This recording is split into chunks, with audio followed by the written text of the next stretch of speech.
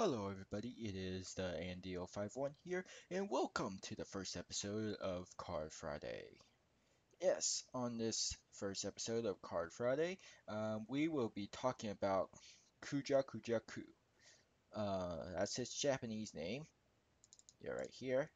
Um, so, as by a comment in on the video, on introduction video, um, someone wants me to go over this card. Um, so, let's get started. It's a level 3 wind winged beast monster. Its effect is, if this card is tribute and sent to the graveyard, you can add one level 4 or lower wind monster from your deck to your hand. You can only use this effect, uh, 9, nine Snake Peacock, once per turn. Uh, that's supposedly the English translation, but it's not official yet. So yeah, there's 9 heads, 9 snake heads, and 1 peacock.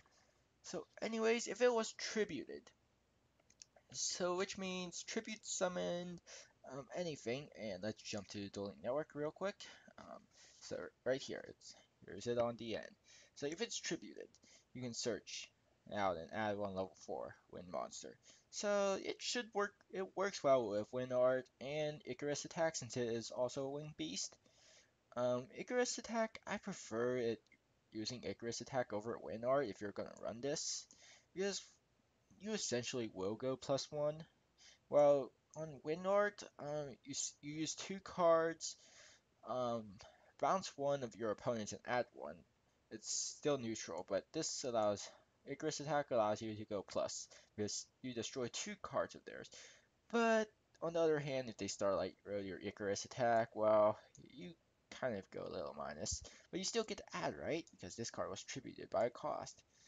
And this card still gets its effect because it is an if effect. So yeah, whether or not if this card is worth running, me personally, um, I don't know. Because honestly, I just feel like the wind monsters, they don't really need much searchers, searching monsters, because you essentially have to have two cards in your hand to use this monster's effect. First, you need this. If you only have this card in your hand, well, it's kind of dead, I should say. And Tour Guide Sangan makes a much better option because chances are all your wind monsters that's level 4, they're not that strong. They're they're like 1500 or less mostly, and Sangan can search out most of them. If like just search out any wind monster, it might be a little better. But yeah, um, so you essentially need two cards in your hand, anyways.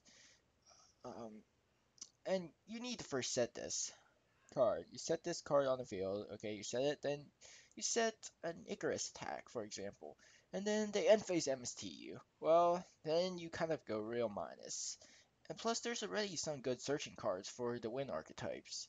For example, Dragon Ravine for Dragunities, you can just ditch card, ditch one card and add a Dragunity monster if you're playing Dragunities. Um, the Hysteric Sign for Harpies, uh, you, when this card is activated, you can add one when you can add one discard from your deck during the end phase if this card is destroyed.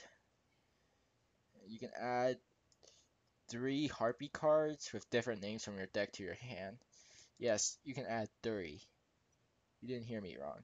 Um, and this card, which goes with this card, makes you special, which you can add from, with this card, uh, which makes you special summon Harpy monsters from your deck. So yeah, and really Phantom Beastcraft, I might consider playing this with uh, Spiritual Wind Art in my Phantom Beastcrafts.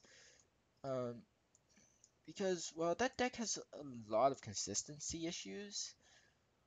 Because sometimes you would draw dead, and well, I played the smart variant, and of course I would draw draw dead. But anyways, let's try not to get off topic here.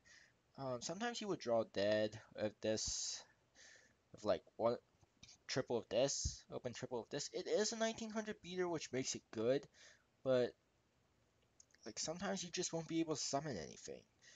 I do play like double of this in that deck, and this card you can tribute one token to add one Phantom Beastcraft monster from your deck to your hand, which is basically the same as this, but you only have to tribute a token. And it has 1900 attack in opposed to 1200. And you don't really have to, well, you kind of do have to use two cards. One essentially getting the token on the field, then you contribute to add. So if you're playing also Mist Valleys, I don't see much people running this, but I'm pretty sure this card misses the timing if you try to wind art that. So yeah, so don't try it. But you can special summon it because it is a level 3, but I don't see a lot of people really running Shrine of the Mist Valley, so that can go away. I can say goodbye. With this, uh, once per turn, you can special summon one wind monster. If you already have that preset and you return one Mist Valley monster, I guess you can special summon this and just win art it, but then again, is it really worth having two cards? Because if you just draw this without any of these, any of these two, you either have to sack it for a level 6 monster or um, or it stays dead in your hand, basically. So that's why I prefer just like running Tour Guide Sangan. So me personally, I probably wouldn't play it. If I do play it, I probably would just like play it at one with a wind deck.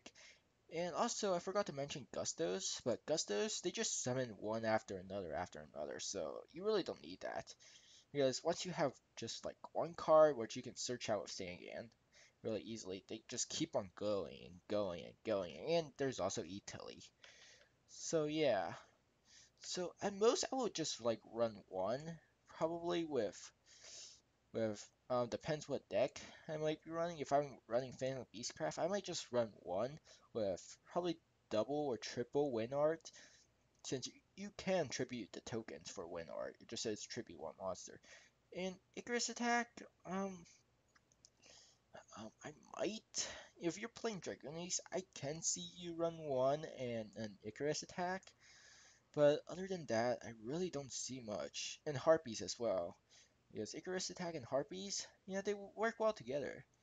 And I don't see much people playing Mist Valleys. I don't play much. And by the way, this is all based on my opinion. If you think this card has more use, okay, that's good for you. Because I never really played this card at all.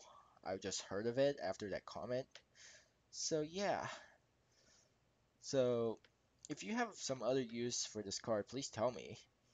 And there's, I'm pretty sure there's level 6 wind monsters that you can sack for, but is it really worth it? Uh, is it really worth, like, sacking for a level 6 wind monster? Um, where's wind? Level 6 of 6. Um, and effect. Or 5 or 6. I, I should put 5 in here. Well, if it can survive one turn, because it has quite low defense and attack, so I really don't see you just sacking this card for something else. And plus, stacking monsters isn't even good anymore. So it's all about special summoning from the deck. That's where it's, where it's at. So yeah.